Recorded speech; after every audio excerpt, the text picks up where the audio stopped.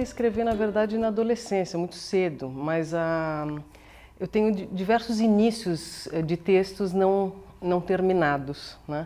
E eu acho que só um pouco depois, quando eu é, me tornei leitora de poesia, é que eu encontrei um código que correspondia ao meu impulso de escrita. Né? É, eu vivi muito tempo na Alemanha e eu me nutri muito da poesia contemporânea alemã. Né? Então, é, a minha escrita é um pouco, é, ela se nutre de tradições, talvez, é, ela é em português e ela se nutre de tradições que não são só em português. Né? O, o meu interesse pela tradução, na verdade, ele começa, na verdade, assim como leitora mesmo de autores que eu gostaria de ver traduzidos para o português. Né?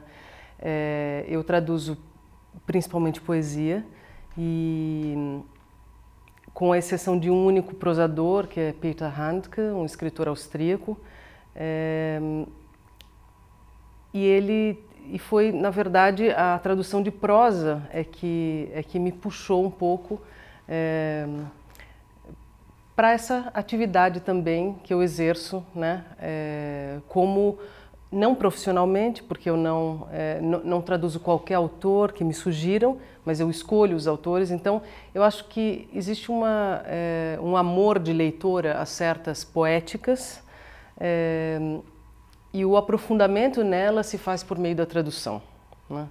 Então, é, eu acho que as, as, a, o que me atrai, na verdade, na linguagem poética é, é justamente o não narrativo, ou a não necessidade de narrar. Né? Até entre os prosadores, eh, e Handke é um deles, de que eu gosto e que eu, eh, cuja leitura eu cultivo, eh, o enredo geralmente não, eh, não, não, é a principal eh, eh, marca dessa escrita. Né? Então, o, não existem enredos complexos, altamente elaborados, a, a ênfase é totalmente na linguagem, ou na reflexão sobre a linguagem. Né?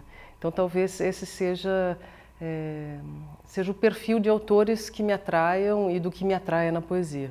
Eu acho que, do ponto de vista do processo de criação, escrever um poema e traduzir um poema são coisas bem diferentes. É, quando, pelo menos no meu processo de criação, é, a escrita de um poema ela começa com um esboço, com um tênue esboço pré-verbal e, e o poema se configura apenas durante a escrita. Né? E, e, no caso da tradução, ele já inicia, esse processo já se inicia com um objeto verbal que tem que ser decifrado e recifrado numa outra língua. É, embora ambas atividades sejam criativas e autorais, é, eu acho que são processos de criação é, bastante diferentes. Né? Quanto ao, eh, à influência é, né, daquilo que eu escrevo, sobre o que eu traduzo, isso é quase, isso é muito difícil de filtrar. É necessário, mas muito difícil. Os primeiros esboços de tradução sempre trazem é, marcas, talvez vícios da minha própria escrita. Eu acho que é só num processo de elaboração que eu vou me despedindo deles e às vezes com uma certa dificuldade, assim, porque eles falam não, isso não é a solução ideal, mas eu acho ela ótima, né? Mas não é não foi exatamente, esse não é o autor, né? Isso é você. É, eu acho que isso, os autores, tradutores têm têm um pouco esse vício narcisista, talvez, né? De, de ficar é, é, de talvez ficar preso a estruturas da sua própria escrita. Como a poesia que eu leio e traduzo e aquela com que eu me, me relaciono profundamente me influencia, é muito difícil de saber e é muito difícil de racionalizar. É, mas eu acho que a função de traduzir poesia para mim, que escrevo também poesia, é me distanciar um pouco justamente da, é, de uma relação incestuosa comigo mesma. Né? Então, com, é, com poéticas diferentes, dicções diferentes e, e, e, a imersão em dicções diferentes, acho que ela, ela faz a gente é, se distanciar um pouco da própria escrita e porque às vezes você está escrevendo, dependendo da intensidade com que isso acontece, você começa a se autocitar, né? Você já você escreve um verso, acha muito bom, mas esse verso já foi escrito e até publicado, talvez, né? Então é, é uma forma de, enfim, de, de, se alargar também um pouco, né? De ampliar um pouco a, a distância em relação à a, a, própria dicção. Eu vivi quase 20 anos na Alemanha e eu trabalhei lá sempre diretamente com a língua. trabalhei como autora, como, é, como crítica e como é, tradutora. Então, é, eu trabalhei muito com teatro contemporâneo e com ópera contemporânea, escrevendo librete de ópera para escritor, para compositores é, é, contemporâneos, né? E nesses casos eu escrevia diretamente em alemão porque se trata de um tipo de linguagem que, que é bastante lúdica, enfim, é, é uma linguagem e também é um texto de uso, né? Um libreto é um texto a ser usado pelo pelo pelo escritor, é, desculpa, pelo compositor. Então é, isso eu não via, eu não via é, problemas em escrever diretamente em alemão. Era algo que me é, que me interessava também bastante. No caso da poesia, nunca me ocorreu escrever em alemão e eu acho que é simplesmente pelo fato de que os extratos de linguagem a que eu recorro ao escrever poesia, é, eles fazem parte da aquisição de uma aquisição de linguagem muito é, muito antiga, né? E eu não tenho esses extratos em alemão. É, então eu já eu já tentei algumas vezes me traduzir para o alemão e sempre acho que soa falso, postiço, não autêntico. Tem algo ali que é quando você aprende uma língua estrangeira já adulto, né? Eu comecei a aprender alemão aos 18 anos. Eu acho que é, o primeiro movimento é sempre você compor a sua fala com, com falas que você já ouviu e você, isso ainda, ainda é muito presente para você. Né? Então, eu não sei porquê, mas eu nunca me satisfiz com as minhas próprias traduções e, e ainda não houve traduções para o alemão, há traduções da minha poesia para o inglês, é, e para o espanhol, mas ainda não para o alemão.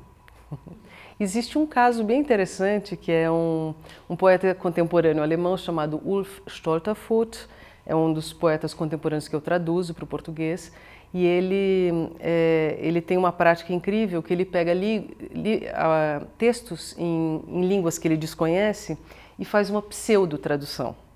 Então, ele pegou o meu livro Extravio Marinho, de 2010, e fez um, uma pseudo-tradução. E o livro se chama Blanco sagt, um, que quer dizer blanco como um nome próprio, diz, né? É, tem um, um, tom oracular, de assim, diz, assim dizia Zaratustra, né?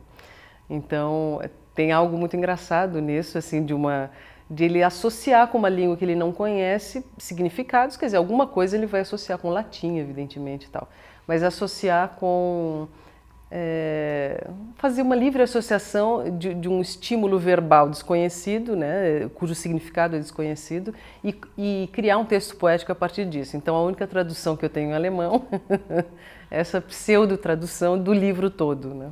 Muitas pessoas acham que, sobretudo, a tradução de poesia, né, é, deva ser necessariamente feita por um poeta. Eu discordo disso.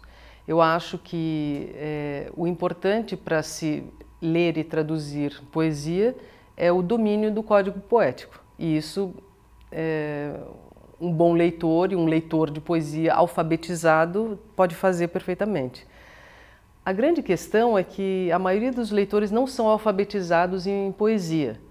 É, como é, a poesia se serve da linguagem é, cotidiana, né, é, parece que ela não tem um, uma, um, código próprio, mas ela tem. Né? No caso da música, isso é, não existe esse tipo de, é, de, de ilusão, né? porque se você não sabe ler é, uma notação musical, se você não sabe ler partitura, você não tem acesso àquilo como leitor, digamos, né, da música. Mas no caso da poesia, como qualquer pessoa pode decifrar as palavras, é, não quer dizer que ele seja necessariamente alfabetizado naquele código. Eu acho que nessa é, observação de que só poetas podem traduzir poesia, é, existe algo de mistificador, porque afinal, o que seria um poeta? Né? É, e eu também faria ressalva de que hoje é muito fácil se publicar um livro e qualquer pessoa pode publicar um livro de poemas. Isso significa que a pessoa é um poeta?